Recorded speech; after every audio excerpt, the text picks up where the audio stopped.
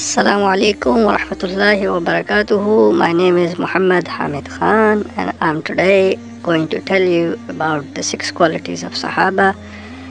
Every Sahabi had all these qualities in common with them. So today we will talk about the six qualities of, of Sahaba inshallah.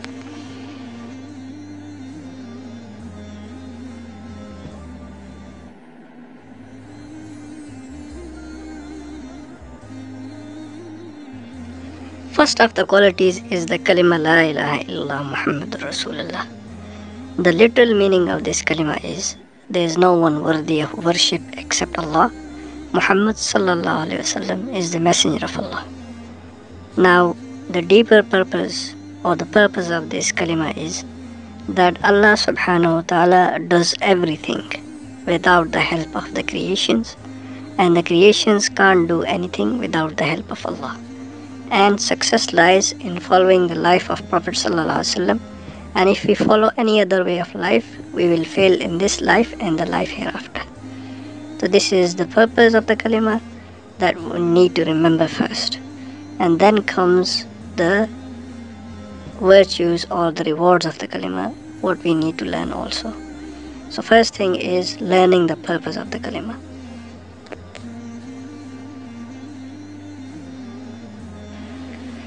The virtues of this kalima is that if a person recites this kalima hundred times morning and evening, his face will shine like a full moon on the day of judgment.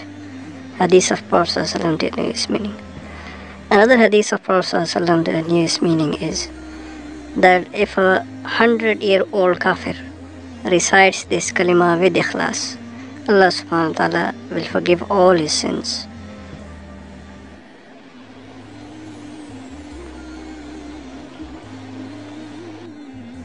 This was a short video regarding the first point of the belief, La ilaha illallah Muhammadur Rasulullah. So inshallah we will meet again and uh, try to learn the second point in the next video.